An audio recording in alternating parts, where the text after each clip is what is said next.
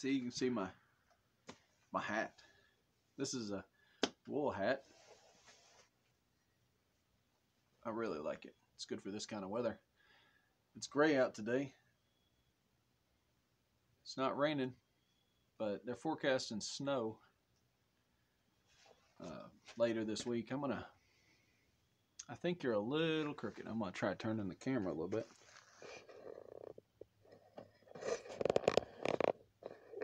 Probably too much. Let's see if that helped any. That's a little bit better. I don't know. Maybe not. But uh, sitting here in my workshop, looking at my property, or me and my wife's property.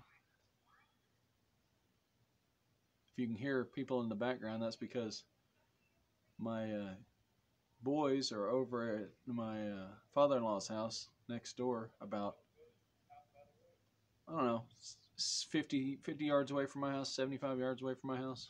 Uh, we ne- live next door to each other. And um, they're over there helping him with something. I went out. Uh, this is just kind of a daily, weekly update. Weekly update. Uh, today I woke up. It's the day after Thanksgiving. Uh, I don't really, didn't really have any plans except I knew I wanted to do another video, upload it just to kind of keep consistent. Uh, I've been working on stuff that isn't blacksmithing, so I didn't do a video on blacksmithing. Uh, we got a, uh, I think we've got a, they, they're saying we're going to have snow on Monday, probably, if it sticks, and I can see it. I mean, we're probably, it's really overcast, like a like it's going to snow, and it's uh, it's probably about 48, 50 degrees right now. Uh, I pro- I'm going to go, when I get done with this video, if I don't blacksmith some in the forge behind me, I'll probably go and uh, start a fire. Maybe not a big fire, but a little fire in the fireplace just to start taking the chill off the house. And uh, today I took the four-wheeler out. I had, uh, I have a little Frankenstein wagon, Frankenstein's monster wagon. It used to be an old one of those old lawnmower wagons that you pull, the red ones that have the dump bed, so you can pull the lever and dump it, and uh, like a little yard wagon. And back when I first got the three wheeler, I set it up. The bed rotted off, the the metal rusted away, and I built a wood bed for it. Ever since then, I've used it with the three wheeler to pull whatever I needed pulling. Well, the four wheeler, when I got it, the um, the fenders, the rack on the back of the four wheeler is sticks out, and the fenders stick out a little bit past that, and the wagon, the hitch is tucked in under that. So the wagon would come up here, and the box on the wagon, when I'd turn, would hit the corners of the back of the four wheeler. If you see me wiggling my nose, it's because I must have got in some dust somewhere, and I'm trying not to sneeze. I'll get over it. Uh, but anyway, so a couple of days ago, the day before Thanksgiving, I uh, took a piece of leaf spring. I've got fragments of it sitting here on the shop floor where I need to clean them up. And uh, it's probably three eighths of an inch thick. I cut it, uh, you know, about this long, and I, I took, stripped down the tongue on the old wagon and uh, C-clamped it on there. And I, well, I, I grounded all everything out with a tiger pad on the uh, side grinder uh, just so I could get a good clean weld. And then I welded that sucker. I'm not the best welder.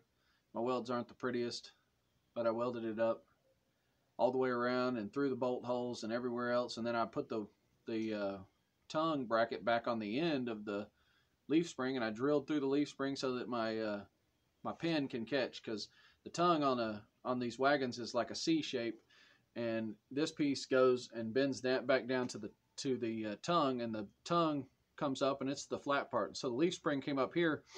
Well, I had a hole in this piece, so I just put my drill bit down through it and drilled through the leaf spring. So now my pin can go through the tongue and it can swivel around the uh, around the hitch on the back of the four wheeler. So I tested it out a little bit, put the boys in it, rode around, around, and around, and it seems to do be doing pretty good.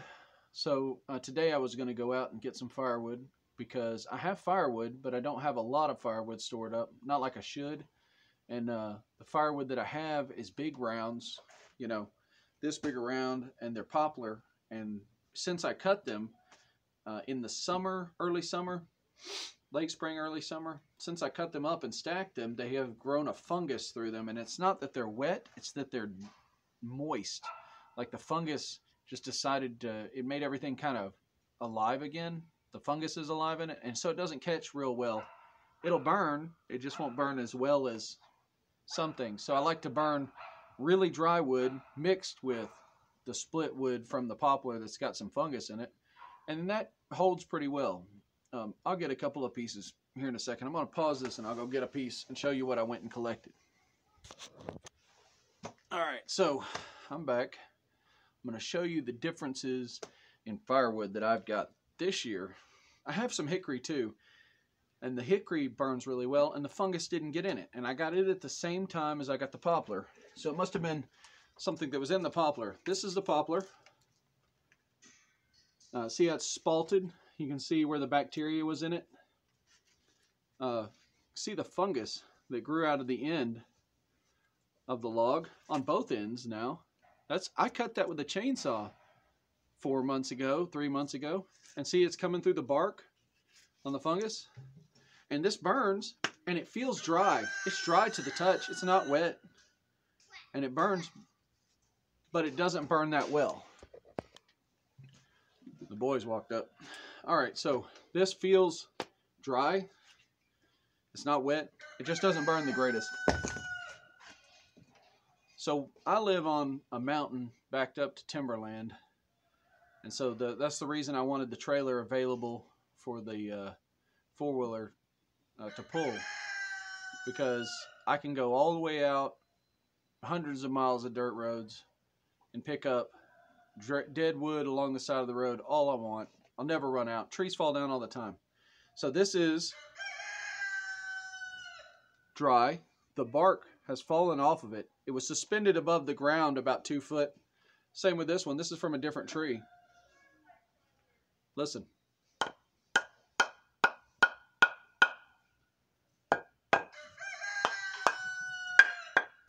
It's got a it's got a real kind of a glassy sound to it when you clack them together.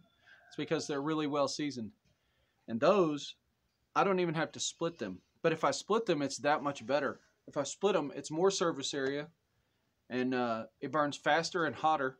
And if I throw those three pieces of wood in together, okay, then the the spongy wood from the, the, the it's not spongy, but the poplar wood with the mushrooms doesn't burn the greatest, but the other two will keep it burning and it'll make for a hot fire. And believe it or not, I only need for my house about two, maybe three loads like that. So six, maybe uh, nine little pieces of wood to keep my house warm uh, from right now until tomorrow morning. Uh, the house is well insulated. Uh, I have a good wood stove. I have a blower on the wood stove so it heats the house. Um, the house is designed so air flows. So the fireplace is in my living between my living room and kitchen, and I have an open floor plan where the living room and the kitchen are one giant room it's not giant, one big room, 16 by 24. And um, kitchen's at one end, living room's at the other end. Well, the fireplace is in the middle. And above that, the floor for the upstairs, for the upstairs bedroom, and it has a beam on each side of the fireplace that's actually supports the upstairs and it shows through the ceiling, through the sheetrock. So it, it hangs down four inches, the beam does. And um, four wheelers. The um, that serves as a channel. The fireplace, the heat rises. My stairwell comes down in that same channel on the far side of the room. So the heat rises, it hits between those two beams and runs upstairs. And so my upstairs stays warm. My living room and kitchen stay warm. My bathroom is kind of cool. My bedroom is kind of cool. My radio room is off of my bedroom, and it's the coolest room in the house. The upstairs is second warmest room in the house, and the living room and kitchen are the first warmest room in the house. Which, as far as I'm concerned, is the way it should be, because you should want to sit in the living room or sit in the kitchen at, at, the table or sit around the wood stove and talk. and um, it allows you to have the uh, you know that that congregation point in your house and that's good I, we don't have a tv in the living room we don't have a tv in the kitchen we have a radio in the kitchen but most of our wintertime sitting happens around the fireplace but wood wood heat is um, i've been heating with wood since i was born my parents as far as far back as i can remember have always either had or had periodically wood stoves and fireplaces, and so I grew up heating with wood. And uh, I've lived in houses that had central heat and air, and that's nice and convenient. But your electric bill is very high, and mine's not. I have a very low electric bill. I'm gonna switch over to off-grid setup.